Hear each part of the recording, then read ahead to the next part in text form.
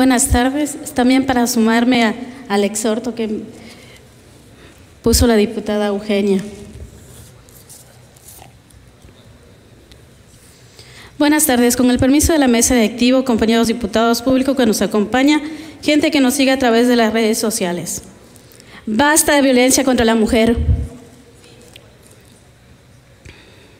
Apenas hace unos días, el 25 de noviembre, conmemoramos el Día Internacional de la Eliminación de la Violencia contra la Mujer. Y hoy la sociedad quintanarroense se encuentra lastimada, indignada y exigiendo justicia.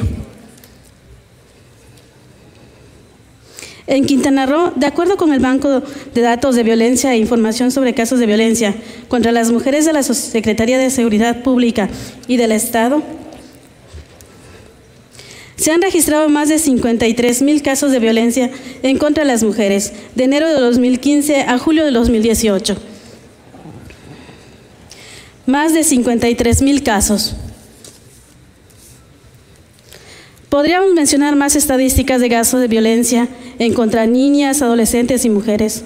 No lo haré porque esta semana, lamentablemente, hemos vivido un acto de salvaje, brutal, violento en todos los medios de comunicación, periódicos y redes sociales. Me refiero al ataque sufrido por Adisbel, ocurrido aquí en Chetumal, un hecho que pone el manifiesto el peligro que significa ser mujer en Quintana Roo. Nos escandaliza la forma en la cual un hombre lastimó hasta el cansancio a una mujer, pero también nos indigna la ineptitud, la corrupción y lo que podríamos que están en las podrías que están las instituciones que en teoría están para defendernos. ¿Cómo es posible que los policías estatales, siendo los primeros correspondientes, detengan al agresor y lo remitan por alterar el orden público? ¿Cómo es posible que la autoridad municipal pretenda escudarse diciendo, salió libre, pero le cobramos la multa más alta?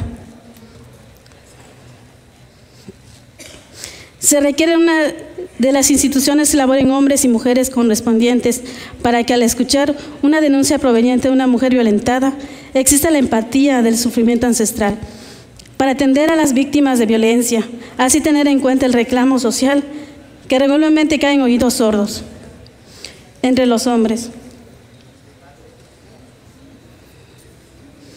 Hoy nos duele la opacidad, la indiferencia con lo que los policías estatales y las autoridades municipales actuaron en este caso.